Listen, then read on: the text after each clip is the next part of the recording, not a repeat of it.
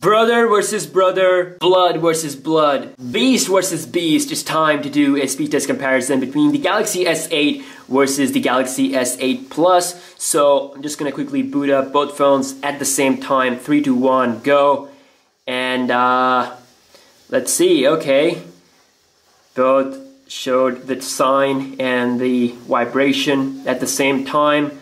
logo is also syncing up pretty equal okay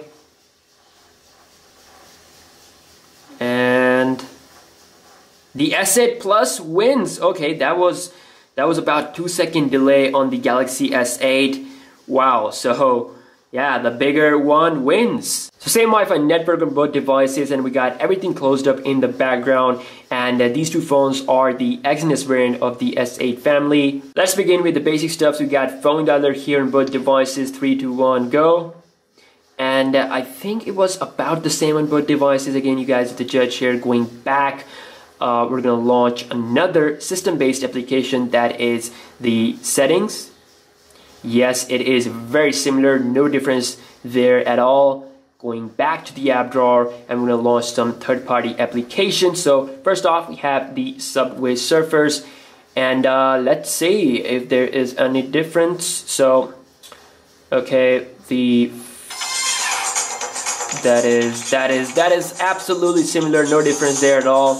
Uh, I thought that maybe the full screen or the full stretch of application might create a difference but it doesn't create any difference. Next we got Snapchat and that is also very much similar on both of these two phones. Checking out Instagram and uh, the S8 Plus really fast with the latest feed followed by the Galaxy S8. Let's uh, load up my profile. And again, faster on the S8 Plus. Load up this picture. About the same on both phones. Checking out Viber. Very similar on both devices. No difference. Moving on to a game called as Smash Hit. And, uh, okay, let's see. Again, very similar on both phones. No difference there whatsoever. We got another game called as Gunfu Stickman. Boom! And that is also very much similar on both devices. Checking out WhatsApp. No difference, no difference. We got Twitter, okay, Twitter, and I think that was tiny bit quicker on the S8 Plus. Yeah, I have to say, I mean, they are very much similar. Can't really say that which one has the upper hand. Although benchmark do tell us that the S8 Plus is a bit more powerful, uh, you know, as far as the numbers are concerned, but the real life is absolutely similar. So uh, we're gonna be launching color switch on both devices here. Three, two, one, go. And again, no difference whatsoever. So lastly, we'll be launching up the camera on both devices. There we go and that is also about the same on both phones. Time for some browsing action. So we got uh, the Google Chrome browser loaded up on both devices. First website will be wikipedia.org and uh, let's see here. Galaxy S8 Plus is done followed by the Galaxy S8. So uh, yeah, a bit faster uh, website load on the S8 Plus. Very similar again uh, scrolling and everything, you know, no difference, no lag whatsoever. Same thing with zooming in and out. Next, we got apple.com on both of these two phones. And uh, as you can see, the S8 Plus is already on the website showing you all kinds of thumbnails and both are at the end.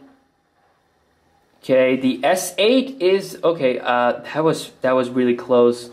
Again, you guys, the judge here, it's really hard to tell which one was the uh, winner. Maybe the S8 Plus was the winner, uh, but uh, we're gonna go back and check out the RAM management and see if there's any refresh, if there's any funny thing going around or not. So phone dialer kept there in the memory by both phones, no refresh. got settings, still there, no refresh. Going back, checking out Subway Surfer, as you can see, it's still there.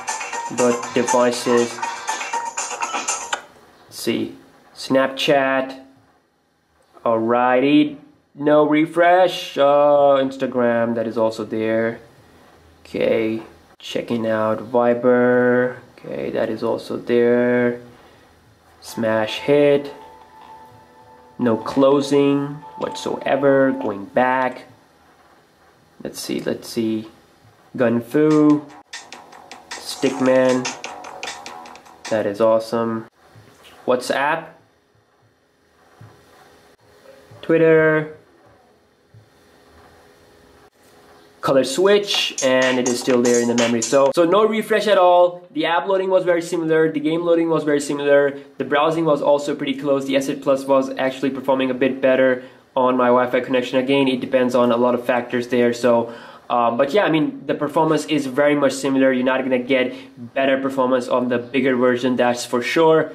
Uh, and uh, boot up wise, the S8 Plus was a tiny bit quicker, like two or three second quicker. Even though if you say that I didn't press the power button at the same time, but the, but the difference was about two or three seconds. So uh, I think uh, I pressed them at about the same time and uh, even if I didn't so the the S8 Plus still a faster phone because of the delay we had on the S8 but but yeah I mean really it, that isn't a, a big issue like a two second boot up difference. Uh, the application the gaming load time all this stuff was very much similar. So uh, thank you so much for watching this speed test comparison between the beast versus the beast here.